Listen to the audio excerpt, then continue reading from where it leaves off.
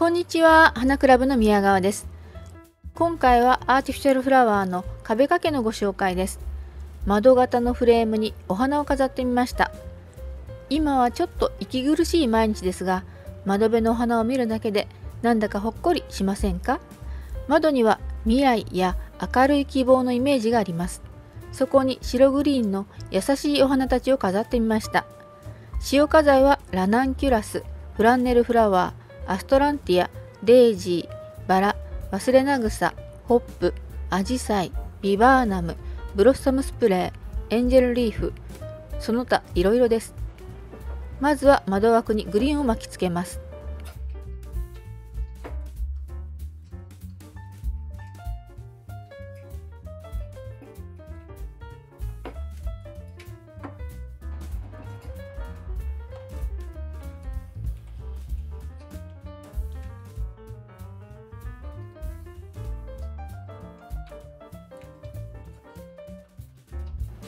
グリーンに動きをつけます。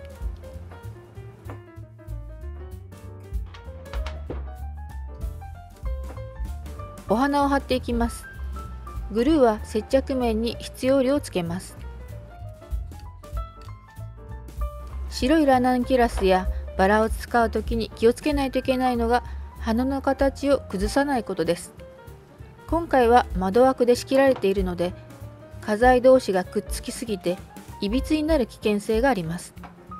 いびつになったなぁと思ったら位置を少しずらしたり向きや角度を変えてひしゃげないようにしましょう。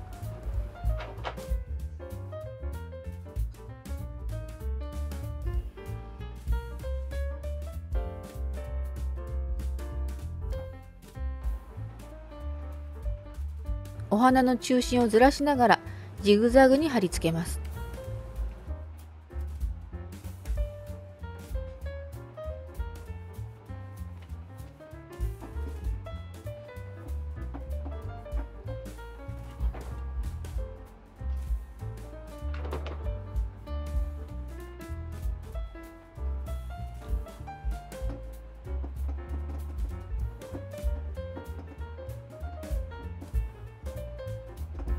銅化材をセットで使うときは向き角度高さを変えて配置します。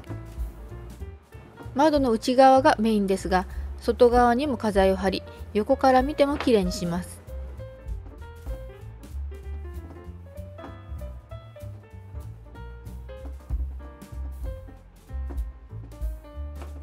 どことどこをくっつければいいかも見極めます。しっかりと接着させるためには接着面積が広い方がいいですしどうしても点で留めないといけない場合は2点3点と接着部分を増やす必要があります。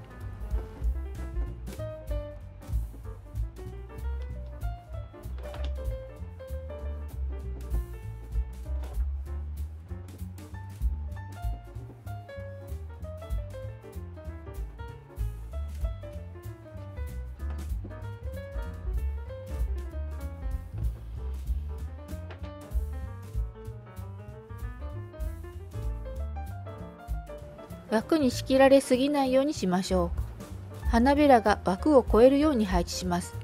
すると統一感が出て区切られた感じになりません。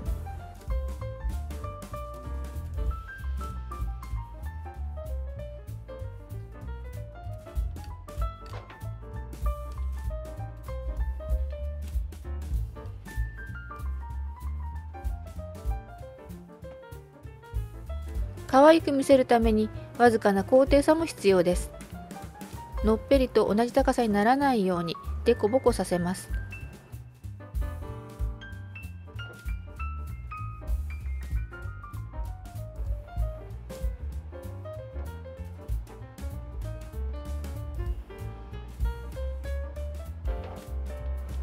花と花の間に花材を貼るときは指やハサミの先などでスペースを空けてから貼り付けます。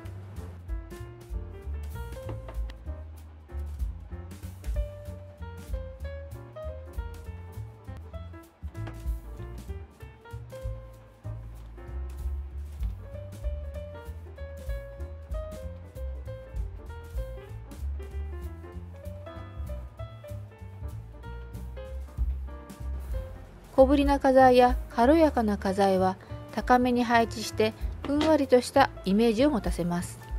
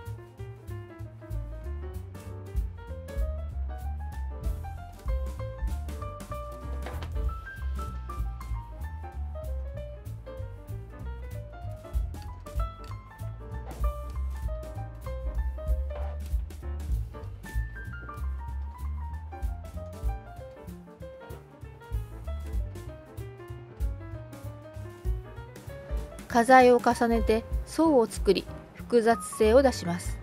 すると奥行きができて魅力的になっていきますよ。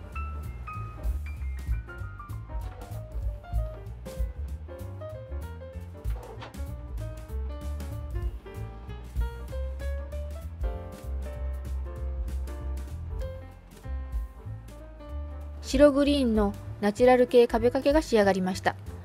リアルな窓辺に飾ると風がそよいでお花も心地よさげです。